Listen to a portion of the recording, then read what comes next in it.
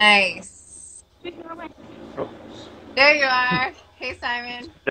Kind of. Oh, there we go. Sorry about that. There it is. Man of the hour. Oh my gosh, I haven't seen you in so long. Look at this beard. Boom. I kind of went on the feral side this summer. that in the winter because they typically think that like facial hair is hot in the summer. but you look great. All right, thank you, and you too. Thanks. awesome. I was just saying on here, it's starting to get dark, like outside, and it's pretty shaded at my house, so I feel like it's darker on the screen. But you look great. Yeah. All right. I uh, move the camera a bit too. Yeah, go for it. Do what you need to. I'm stoked to get this started. And so, really fast, before we get started, Simon, because we have some questions for you and we have some people kind of jumping on and joining.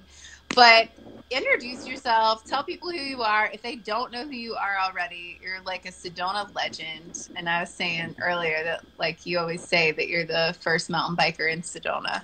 So tell us a little about about a how long you've been riding, who you are, that kind of stuff. Okay, well, I am 58, um, and I've been riding my. Excuse me. I've been drinking a beer too, so excuse me. and I have a dog wanting to be pet right now. So um, anyway, so anyways, yeah. So I am actually Simon Bosman, and I'm originally from Africa, and uh, I've been riding my whole life. I'm 58, um, and uh, yeah, so, um, yeah, I arrived in Sedona in the early 80s, and um, yeah, there was no one else riding. Yeah. And um, yeah, so I rode for a few years on my own, and um, yeah, I, it's kind of funny. Some of the stuff I, I took my bike on way back then, like up Wilson Mountain and uh, um, uh, um, um, at the West Fork yeah. of the Oak Creek Canyon. I've been from top to bottom, uh, which is against the law now. It I, wasn't. I guess it was back then, but there weren't signs, and I didn't know. Yeah. so I've been all over the place. Yeah. That's crazy. So, like back then, I mean, there were there were no trails. You were just kind of bushwhacking, right? Well, there, there, actually were a few trails. There were some of the more. Um, there, um, there, was like um, what, I'm just trying to think. Uh, I think Llama Trail was already there. Yeah. For example, um, obviously the Broken Arrow area, but the Broken Arrow Trail itself wasn't done. Um, uh, there was some stuff out at Cockscomb too. Um, all the wilderness trails were in place, and, and I rode all of them back then. So nice, awesome. But as I was saying, it wasn't against the law then. Well, it kind of was, but not really. now you stuff, especially like up Wilson. I mean, yeah, up up and over Wilson. Yeah, that was good. that sounds crazy. I don't even know if I would if I would want to ride that. I don't know. yeah, I actually hiker biked it up and rode rode it down. So whatever, it was good. Just fun. That's awesome. Yeah. Yeah. So you've been so I mean how how long have you been riding? How long have I been mountain biking? Yeah. Actual mountain biking on a mountain bike. Um, first time I rode was in the early '80s, like '83, something like that. Yeah, yeah. on a mountain bike. That's awesome. And uh, yeah, long time ago. and, it was, and and the bike was rad. It was so cool. yeah, just like what you're riding now, right? yeah, exactly. It's kind of crazy how that that happens. Um, I mentioned that that that one day that uh, we all rode up on uh, up on the High Line. Yeah. How like each bike I've ever had, it is like the best bike I've ever had. Or you know what I'm saying? It's like. So so stoked to get it, and it's like, whoa, it can't get any better, and then next year it's better. Yeah. so what bike are you riding right now? What? Because I know you have a couple, but what bike do you take? Yeah, I've been I've been on a program with a, a friend of mine from Flag who is a Niner dealer, and I've been riding the Rip Nine for about the last year, which is a fantastic bike. Nice. Um, but uh, I'm in between bikes right now. I had to give my last one back a week ago, so I'm uh, back on my HD4 Ibis, nice. which I, which I really love that bike tremendously. It's a great it's a great bike. Yeah, great. You've had yeah a while. Yeah, I've had it a couple of years now. That's cool. Yeah, yeah, That's great. it's good. Yeah, yeah, fantastic. I love it. So, okay, so let's just get kind of right into this. And the first the first thing we're going to chat about is three tips that you would give for riding steeper descents because let's be real. When people see you in videos and most of the time you're riding like the super steep slick rock or I mean, what? You were in where were you this past weekend because you posted a photo I was in Page, yeah. Page. Page. We went up for a little photo shoot this weekend. We were actually sc- scouting out for a, an upcoming shoot in October, nice. and uh, yeah, so, and yeah, I've, I've ac- actually got another really good one coming up in a couple weeks, but I'll I'll have to wait for that. Nice. But uh, Well, but I um, always feel like you're riding this steep stuff. Like you're always every. I mean, even when we ride together.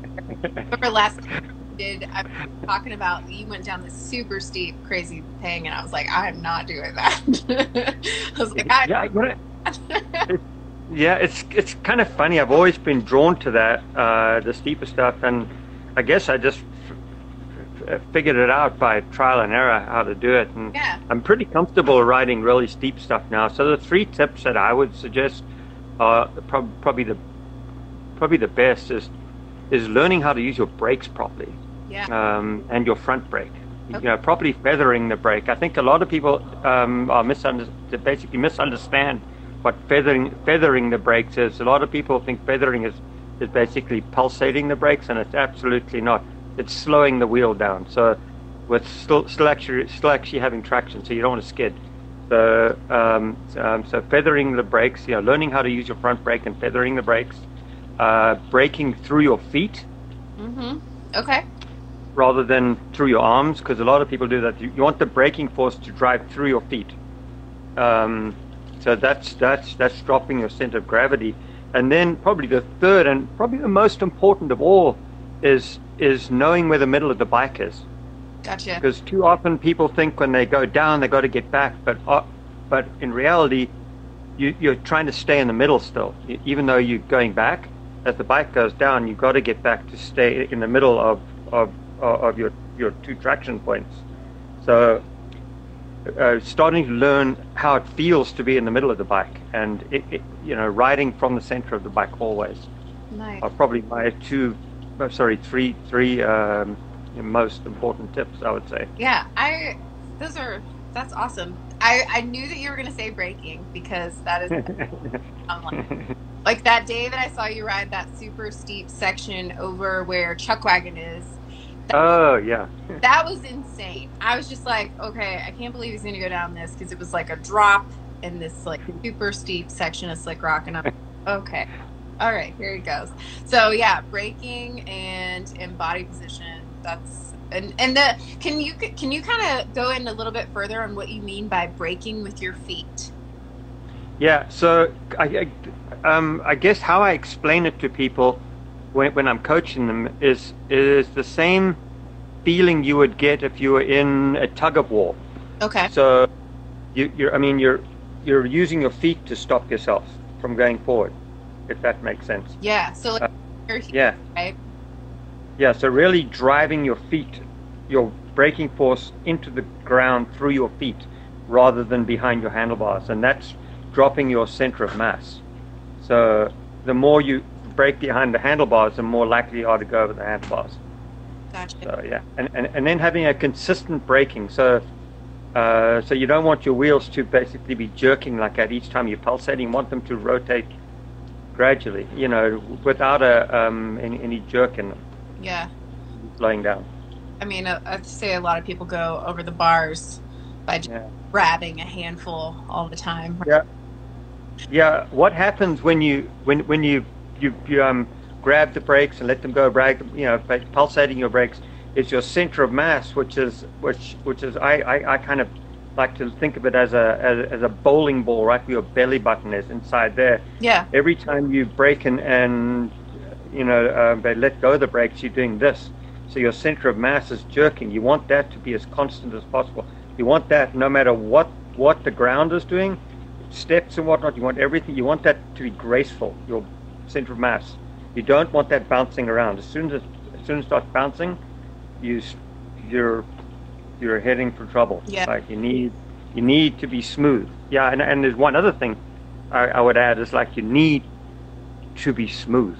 Focus on riding smooth rather than riding fast. Yeah. The smoother you get, this. Sorry, go ahead. No, I was going to say that's such a good tip. I, I always hear that from other coaches too, but I remember hearing that when we coached together is that you were saying that like slowing your riding down is huge, right? And try not to go super super fast because concentrating on being smooth is is way more important.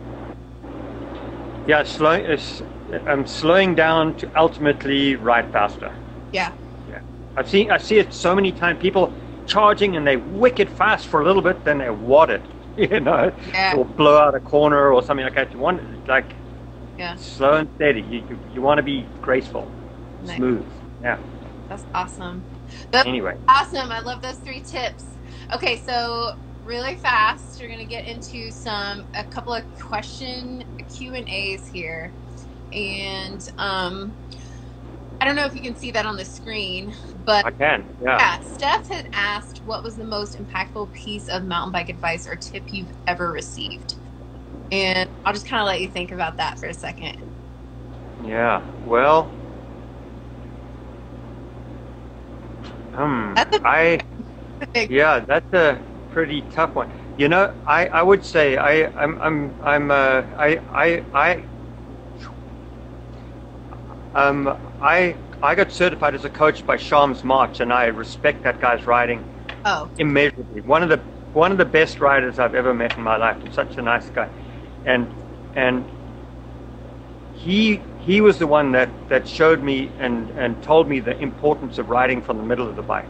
Everything happens from the middle of the bike, and you need to figure out where that is, and and how how you know when you are in the middle of the bike is when you are standing on your pedals, and and you're able to tell whether you are in the middle by how your hands feel on your handlebars. Or, you know, if you're not squeezing the bars too tight, the grips too tight, one can tell whether you there's a slight tug or a slight push, or if you're neutral. hmm Now that you always need to ride from neutral, not always in neutral, but ride from neutral, because you're obviously going to push the bike forward and pull it back and whatnot. But always ride from, always come back to neutral again. So that I would say is probably the number one one tip that I heard that, that really impacted me tremendously. I've been right, and but, but when I when I when I got taught to coach by Shaums, I mean I literally, I think I'd been riding mountain bikes for over 30 years at the time, and I was like, whoa! It suddenly was. It was really like a light came on.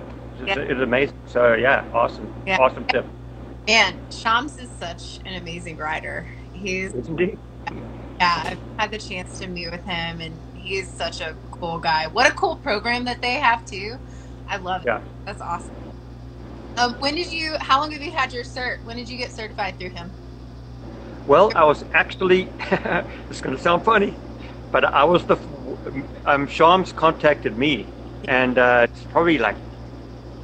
I don't even know. It's probably seven or eight years ago now, something like that, and said he was wanting to. He was working with IMBA, and he's going to set something up, and he's going to start coaching, and so I was in his first class, That's awesome. which is kind of strange. it's awesome. It's kind of cool though. That's so cool. I um, that's really that's really funny. So it's, I met Shaums at Snowshoe, and he Yeah. was there to teach that program. That's that's so. Fun. Uh, all right. Yeah.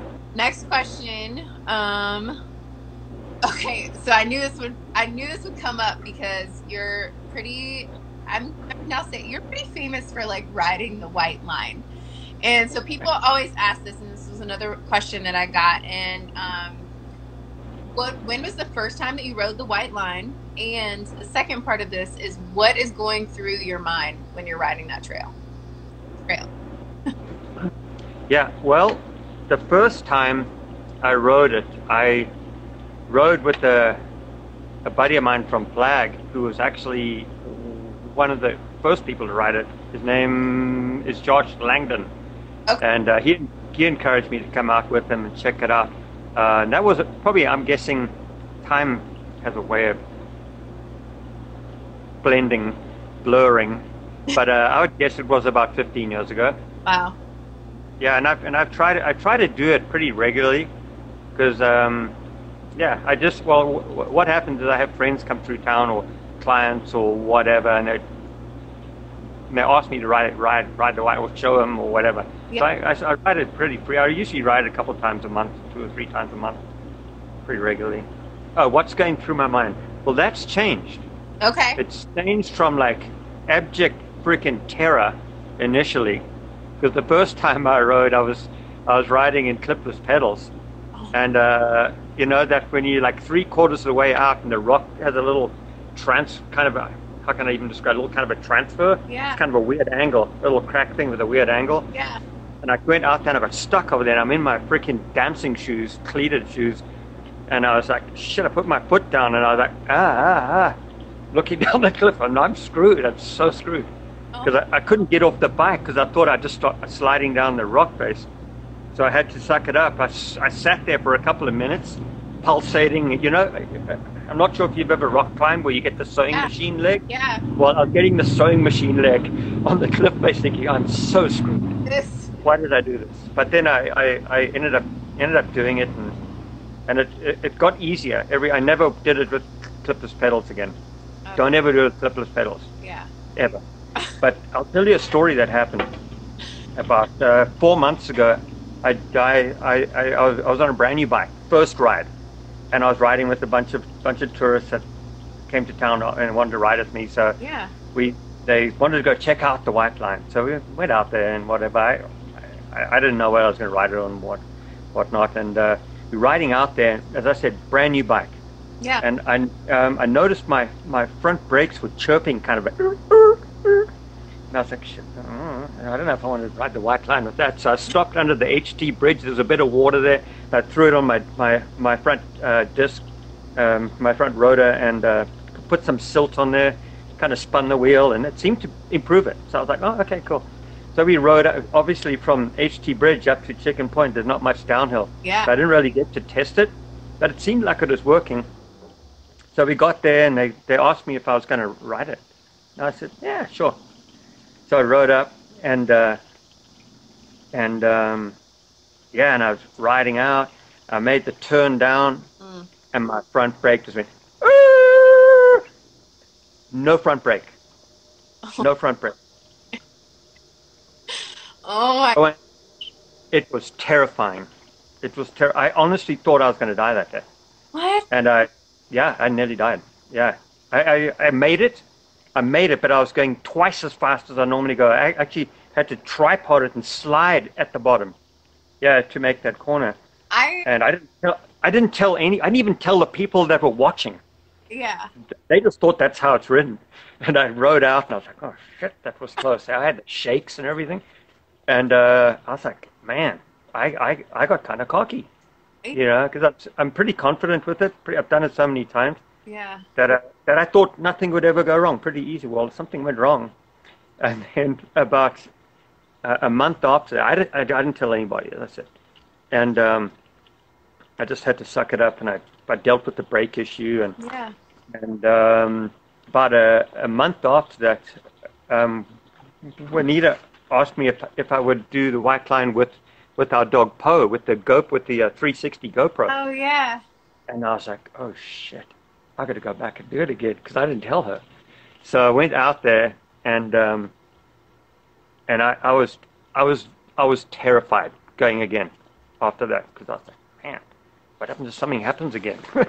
and it was like the it was harder than the first time I ever did it because I was what I was planning on doing is do the white line and then then take the white line plus line Yeah. down at the bottom, Yeah. which I ended up doing. But uh, God, I was terrified. I had I man, but I made it. It was good. I made it and. I felt like I got back on the horse again. So Yeah, yeah. I, good. I don't Yeah. know. I mean, there's definitely there has to be some kind of like mental. I don't know, because because like you said, you know, you could have you could have almost died. Like you could have messed up, and there's always that risk of, of the biggest thing through people's head is like, okay, what if mm. I fall? Right. yeah. I mean, are you are you thinking about that too? Are you like, are, You know, honest, honestly, it's never crossed my mind. Like I'm, I don't, I, I really don't ever do anything that I think is going to kill me. Okay. I don't, Yeah, and um, anymore. Yeah. in my younger days, I would do some pretty stupid shit on my dirt bike or whatever. But yeah. But um, no, as, as a general rule, I'm pretty pretty cautious. I, I know, I'm always try to be within my my my what I feel I, I know I can do. I I, I don't want to get hurt. Yeah, yeah, of course. But that was a close one.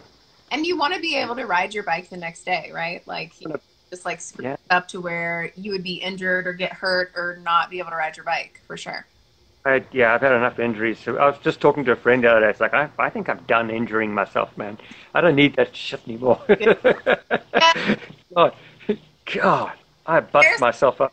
That kind of brings me to the next thing, though. Is like this kind of goes with the question: Is there anything that you shy away from now? Are you like, do you love riding like, like drops or, you know, like steep stuff is kind of like your thing? But what's like your favorite kind of you know, favorite favorite thing to ride. I, I know in like Sedona, but it could be anywhere. My favorite style of riding is more like super trailsy, technical stuff, super slow. Yeah. Very challenging. Trying to, I, I call it the slow flow. Yeah. If that makes sense. It's yeah. like I, would like to, uh, yeah, a lot of, the, I find slower riding is, is, is, uh, takes more skill. So I, I kind of gravitate towards that because I'm constantly learning uh, when I'm doing that. Just riding, I'm not really learning anything, so I, I get kind of bored. But I like, I like, especially if I don't have very much time, I'll go out and bang out an hour of real technical stuff.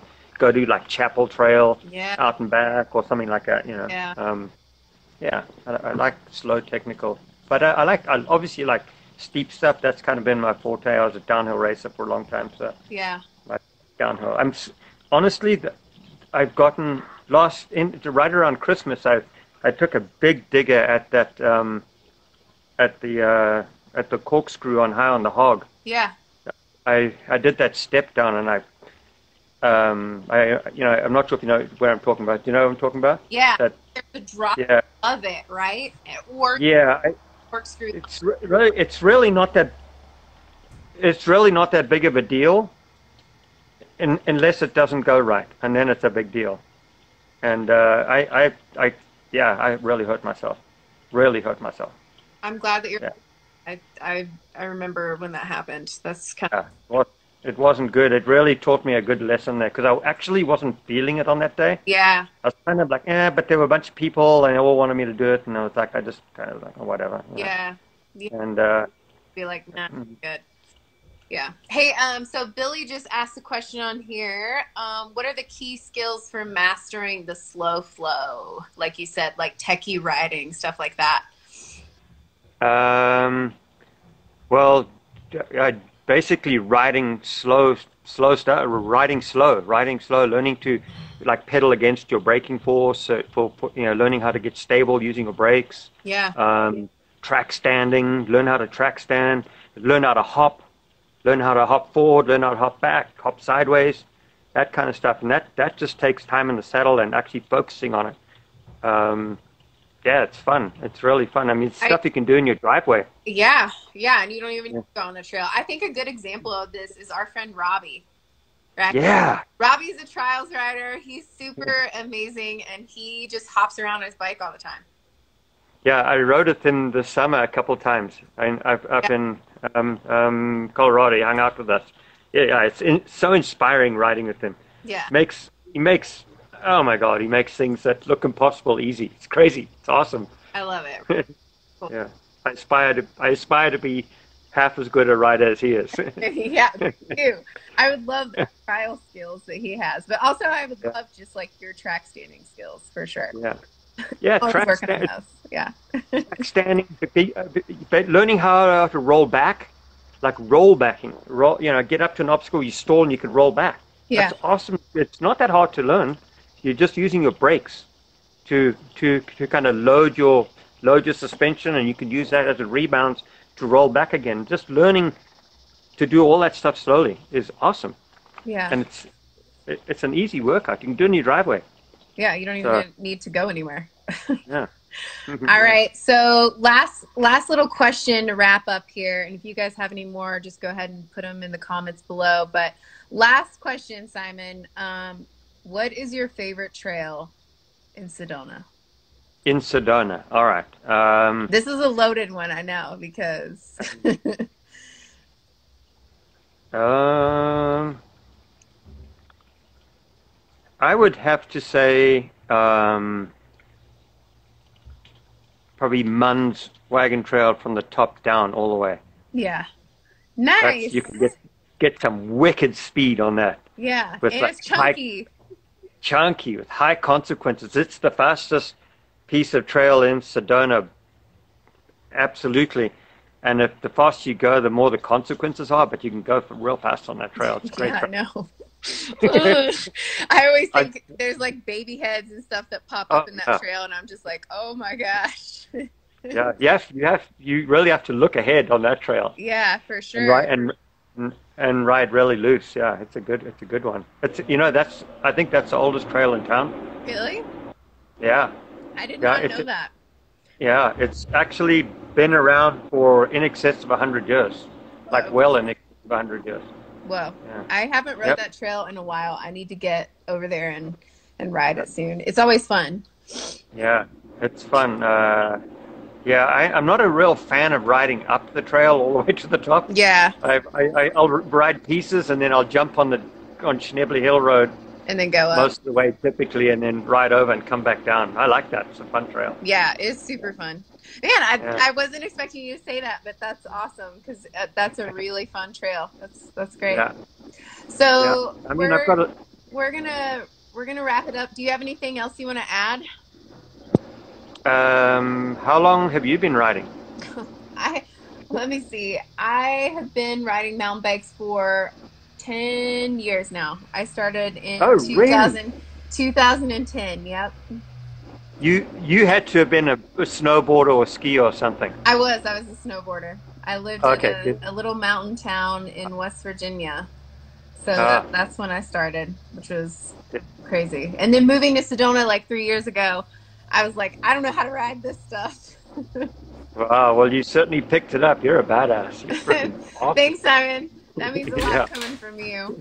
Hey, how can uh, people get a hold of you? I know they can follow you on Instagram. You have your website, Simon Says MTB. Um, but if they want to learn more about, I know you even have some YouTube videos out, right?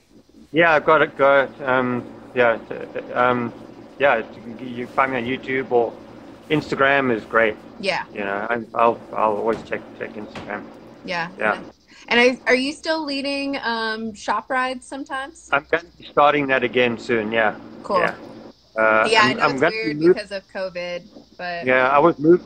I was I was just basing it out of one shop before, Absolute, but I want to start moving it around to different locations, maybe the brewery or whatever, Yeah. just different spots each week, so we can write different. Because it's kind of I I get bored riding the same area. yeah, you need to switch it up. You need to come to, S- Yeah. to West Sedona. That'll be great. Yeah. Yeah, I'm gonna. Cool. Well, Simon, thank you so much for taking time out of your day. I know you're busy, and this was great. I know some, I gave some really good tips on how to ride steeps, and yeah, um, we'll be in touch. Thank you so much. Cool. I appreciate it tremendously, and I had an awesome time talking about things. Yeah, you're amazing, and we'll have to go out Yeah, and ride soon. I'll I'll be in contact with you. I'd love that. All right.